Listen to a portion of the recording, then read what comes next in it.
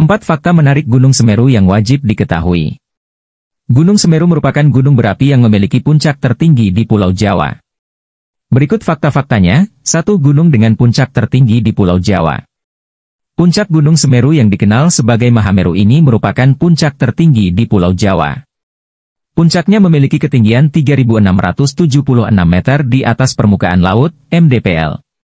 Gunung Semeru sendiri menempati peringkat ketiga gunung berapi tertinggi di tanah air, setelah Gunung Kerinci di Sumatera dan Gunung Rinjani di Nusa Tenggara Barat. 2. Adanya gas beracun di puncak Mahameru. Kawah yang terbentuk di puncak Mahameru dikenal dengan nama Jonggring Saloko.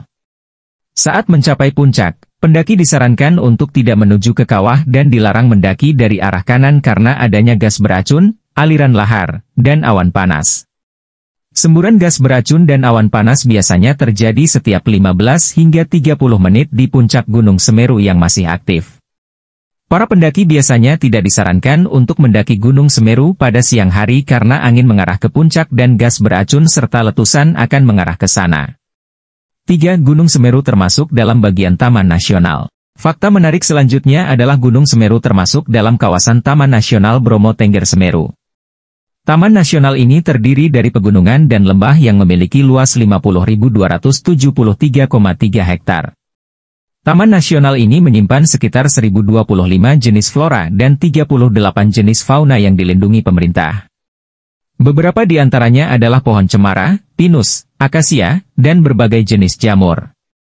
Selain itu, ada beberapa jenis anggrek endemik yang juga tumbuh di sekitar Gunung Semeru bagian selatan.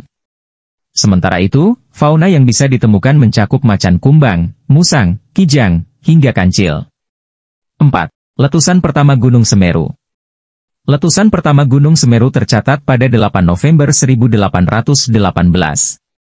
Sekitar 1829 hingga 1878, Gunung Semeru juga mengalami beberapa kali erupsi hingga 1913.